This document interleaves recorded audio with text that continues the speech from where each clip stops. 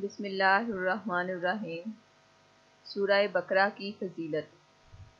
सूरह बकरा कुरान पाक की सबसे लंबी और बे इंतहा रहमतें और खैर बरकत लाने वाली सूरा है। सूरह बकरा से हर मसले का हल और हर किस्म के जादू का तोड़ बहुत आसानी से किया जा सकता है। पहले हम इस सूरा की शान में चंद अहादीस मुबारक बयान करेंगे। हदीस नंबर एक। सैदना अब्दुल्ला बिन अब्बास रज़ी अल्लाह तु ने कहा कि एक दिन जब्राइल हजूर नबी करीम सल्लल्लाहु वसल्लम के पास बैठे हुए थे कि एक आवाज़ बड़े ज़ोर की सुनी दरवाज़ा खुलने की। और अपना सर उठाया और जब्राइल अलैहिस्सलाम ने कहा कि ये एक दरवाज़ा है आसमान का कि आज खुला है और कभी नहीं खुला था, मगर आज के दिन। फिर उसमें से एक फरिश्ता उतरा। और जिब्राईल अलैहिस्सलाम ने कहा कि ये फरिश्ता जो ज़मीन पर उतरा है, कभी नहीं उतरा सिवाय आज की। और उसने सलाम किया और कहा, खुशखबरी हो आप सरकार को, दो नूरों की, कि आपको अनायत हुए हैं और नबियों में से किसी नबी को नहीं मिले, सिवाय आप सरकार के।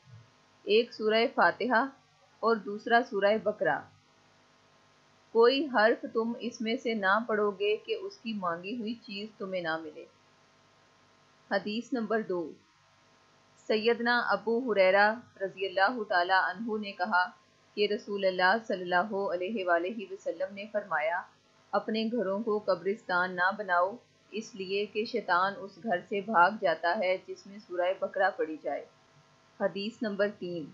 सैदना अबू अमामा रज़ी अल्लाह तु ने कहा कि मैंने रसूल अल्लाह वसल्लम से सुना कि आप सरकार फरमाते थे, कुरान पाक पढ़ो, इसलिए कि वो क़यामत के दिन अपने पढ़ने वालों का सिफारशी होकर आएगा।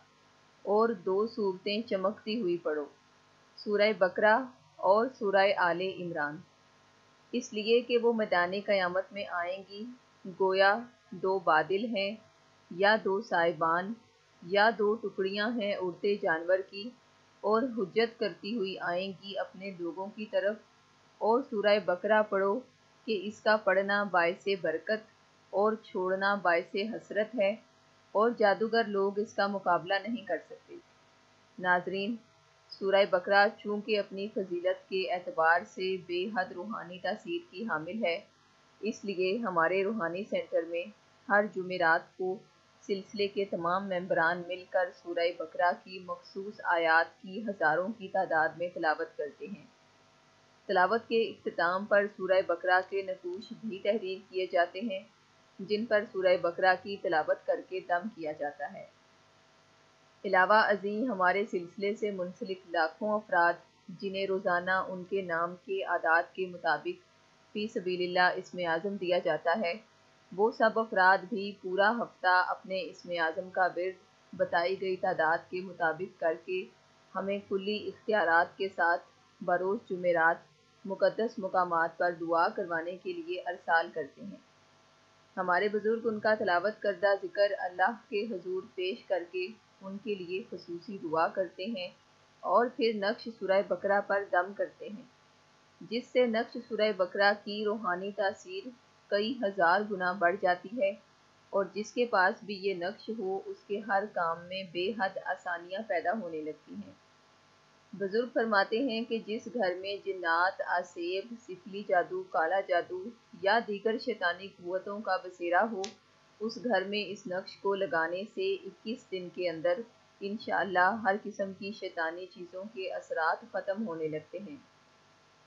अगर किसी शख्स पर बहुत पुराना जादू हो, जिसका असर किसी सूरत ज़ायल ना होता हो तो उसे चाहिए कि इस नक्श पर सात जुमेरात तक पाबंदी से सूरह बकरा की कम अज़ कम एक बार तलावत करके दम करे। इन उस जादू का ज़ोर सात जुमेरात के अंदर टूट जाएगा। जिस शोहर पर किसी औरत ने काला जादू करके उसे अपनी नाजायज़ मोहब्बत में गिरफ़्तार कर दिया हो और बीवी शोहर की मोहब्बत वापस पाना चाहे तो इस नक्श पर रोज़ाना अपने नाम का इसमें आज़म पढ़ कर दम करे। इन शोहर को गैर औरत से नफ़रत और बीवी से बे इंतहा मोहब्बत हो जाएगी। जिन खवातीन का हमल ना ठहरता हो, या हमल ज़ाया हो जाता हो, या फिर उनकी टेस्ट रिपोर्ट्स में कोई बीमारी वाजिया हो रही हो तो वो हमारे रूहानी सेंटर से नक्श सूरह बकरा के साथ नक्श शफा भी हासिल करें। और रोज़ाना रात को सोने से पहले अपने पेट पर शहादत की उंगली के साथ इसम मुबारक, या मुसविरु या खालिकू, या बारियू, पाँच मरतबा लिखें। इन खुदा के पाक कलाम की बरकत से उन्हें नेक सीरत औलाद अता होगी। जिन लड़के या लड़कियों के रिश्ते ना आते हों, या रिश्ता होकर टूट गया हो, या फिर मनपसंद घराने में रिश्ते की ख्वाहिश हो तो उन्हें चाहिए कि शादी में आसानी के लिए सूरह मुजम्मिल का नक्श और रिश्ते की बंदिश के तोड़ के लिए सूरह बकरा का नक्श हमारे सेंटर से हासिल करें। इन उनका रिश्ता बहुत जल्द तय पाएगा और शादी के अखराज में भी अल्लाह की गैबी मदद नसीब होगी।